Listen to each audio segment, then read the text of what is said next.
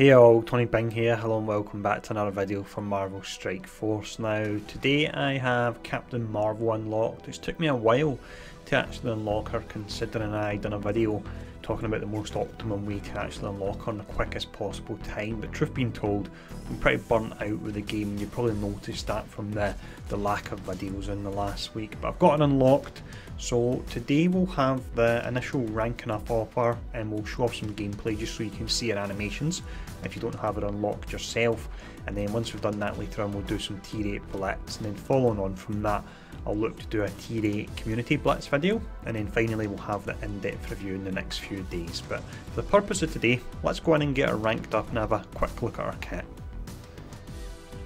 Managed to save up 3.7 million gold here. Now I don't really want to spend a lot more than the 1.8 million per day that gives you the 5 shards for her. If I was to use the majority of this gold in one day, then I'm essentially losing out on some shards and I'm not sure how you farm her afterwards. So I'm only take her up so high. I do have 3 red stars on her. We got lucky in that respect. So there we go there. And then what we'll do is we'll level her up first. I reckon I'll go to around about level 60.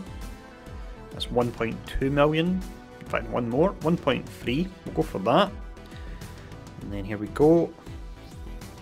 Stats are starting, of course, they're starting to crawl up when we go from 1 to 60, but you can see the health's looking pretty decent already. Now, from here, before I can upgrade the skills, I need to upgrade the tiers, and this bit, as you all know, takes an age, so let's quickly skip past this.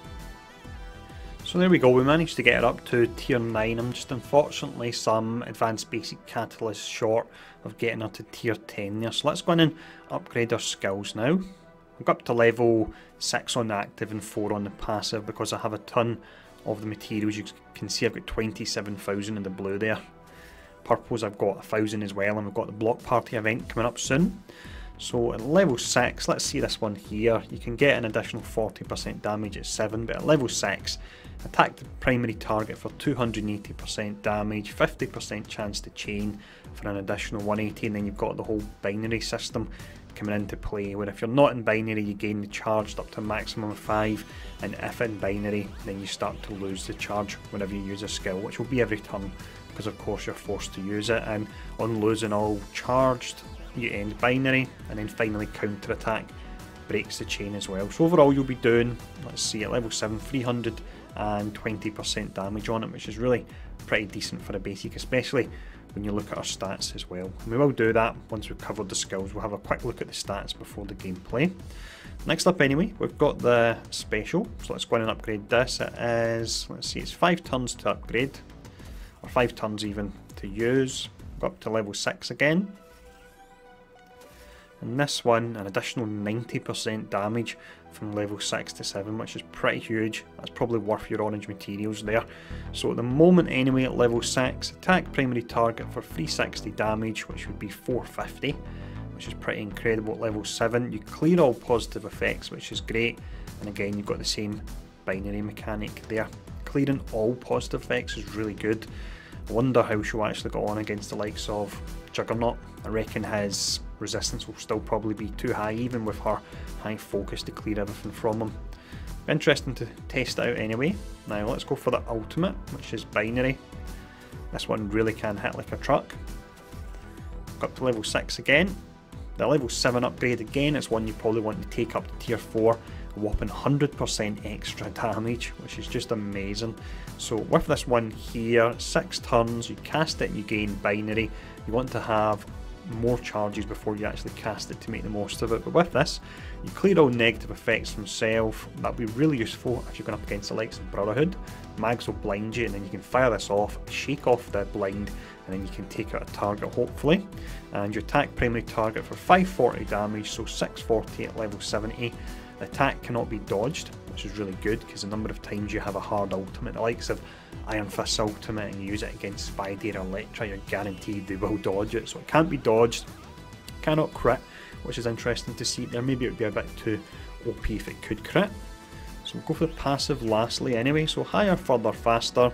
The tooltip in this passive is absolutely ridiculous and there's no way I'm going to fit it into an in-depth review at all. I've got no idea how it's going to work, so let's quickly read through it anyway. So while in binary form you gain 25% damage, 25% armor, 100% focus, 100% resistance, which is pretty amazing, and while in binary on end of turn attack all enemies for 120% damage. On spawn, you clear all charge, so this is relevant to the likes of raids or dark dimensions where charges persist. If any charge were cleared, you gain regen. So in a raid, you'll gain regen at the start of the actual node. You gain one charged. If at least one ally is military, you gain an additional charge. So that's the likes of Cap, War Machine, Winter Soldier. Military allies gain additional health and damage. And then if not in binary, when the character gains ability energy, you gain one charge. So you feed her with the likes of Star-Lord I think Thanos doesn't actually work. I need to test that, but from what I've read, Thanos providing him with energy won't work because that would be a passive proc and a passive. Disappointing if it's the case. It would be really pretty strong if it did work, but I still think it's quite disappointing if it doesn't. And then finally, uh, on turn you heal self for 10% of max health. It's not clear if that's tied in with binary, so I'll need to check that. If you were to take it up to level 5, you've got the additional 30% damage to all enemies, and then you've got the 10% healing as well, so that'll be 20% max health per turn. Now, if we quickly look at the stats before we actually go in and show off some gameplay here, so I've broken this down already. Her health will come out in A rating, so that'll work really nice with 20% gain on her passive again. It's just down to whether or not it kicks in in normal mode or if you're in binary. Damage would be a B, armor would be a B as well, so the fact she has a, a blaster class or brawler class and she's got high armor and also high health and regen. It's going to really help her out from a survivability perspective. She'll probably be the most robust brawler class out there. You've got her focus and resistance that are both exceptionally high. Focus is A, resistance I think comes in at a B, then you've got a speed, which is the third fastest character in the game, passives aside. So that would mean that, let's see, it's 127. So that means that, of course, would be an, an A++ rating essentially. So that's her stats, so she certainly does look incredibly interesting. Before I really give any thoughts on her rating, I need to play around with her a fair bit because I've only got to use it in the Minerva campaign so far and that wasn't enough. So I'll play around with her a bit and I'll do some T8 Blitz following on from this video. But for the end of this video here, I'm just going to show off some gameplay. So enjoy this, and thanks for tuning in, and I'll see you all again soon.